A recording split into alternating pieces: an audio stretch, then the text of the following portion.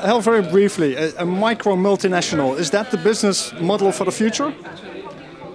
Well, I think it's a business model for the future in the sense that it's something that was virtually impossible to do 10 or 15 years ago, but now it's a matter of course. A very small group of people can create a multinational corporation because communication and data manipulation is so much cheaper.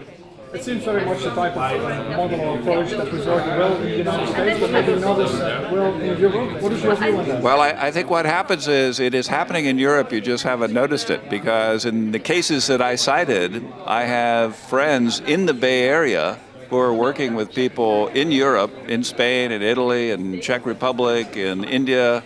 Uh, people are working with people all over the world using these tools. So maybe they aren't visible, but believe me, the talent in Europe is being put to work in these kinds of organizations.